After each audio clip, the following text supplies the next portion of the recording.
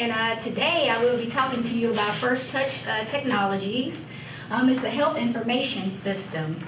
Um, and this was actually created um, after 10, over 10 years I worked in a clinical laboratory and I saw errors that needed to be corrected so I came up with this idea that can be implemented in the daily operations in the health uh, care market. So a medical office can use it, a laboratory can use it, uh, a hospital can use it. This is medical software, like I stated before, so this could be implemented into a medical office. So it's easy to install.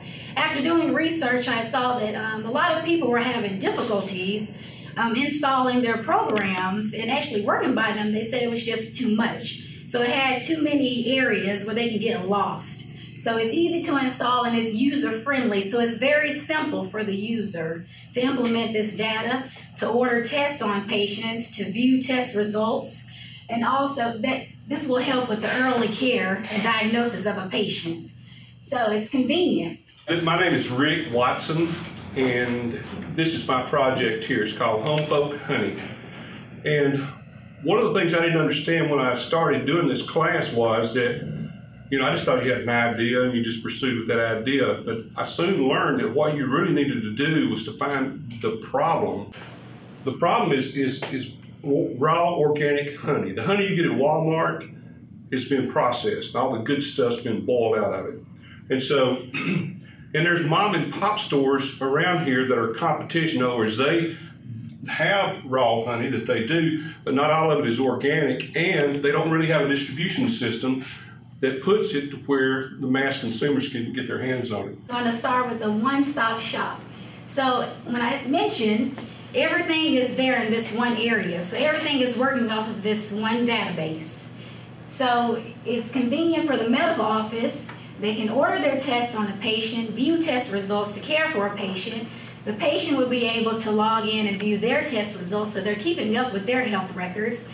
The laboratory is able to use it after the doctor orders their test, it's going to send straight to the laboratory, so they'll be able to receive that test order and order your test. So they'll be able to actually run tests on the blood because they'll have your test orders right there in front of them. So that's why I mean it's a one-stop shop. So it's a three-part, one database system. Well, one of the things you have to do is figure out how big is the market. And so what I did, my market's going to be Walker, Jefferson, and Shelby counties in the latest demographic, there's almost a million people, just, just less than a million people in those three counties alone. And the price point is around $20 a pound, 18 to $20 a pound, based on the latest information on raw organic honey. And my key partners is uh, Tatlasoft.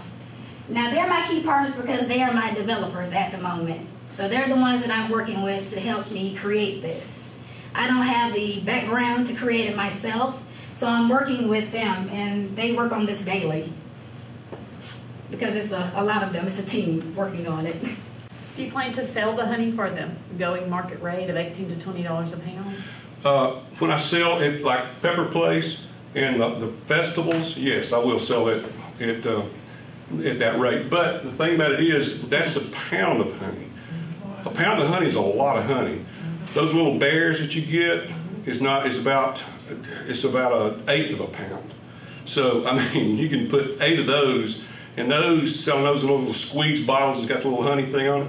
I mean, that would be the a great way to do it because you could sell and make a lot of money, a lot more profit on doing those those smaller bottles rather than getting some like a quart or larger.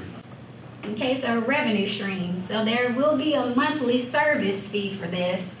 Um, and this, like I said, it's just something that they can use. They'll be using it daily. And this will take care of the tech support and any other issues that can come about. So all of this will be in one base price for them. And this will also depend on the size of the office and how many physicians may be within that office. So of course, if there's more physicians, we'll just base the price upon that. So if it's one physician, it won't cost that much. Because like I said, it's going to be a lower cost as I'm trying to lower costs and make it more affordable. You know, if it weren't for bees, if bees weren't here, if they all died, we would all die not long after that because they are responsible for pollinating most of the things that we eat today. this was a great beginning for our business makers class, and I really appreciate, uh, uh, Rick and Marissa for staying with it, because we met a, a lot of hours, uh, in this room, uh, and so really appreciate them, so, uh, so- but that's it, so, thank you.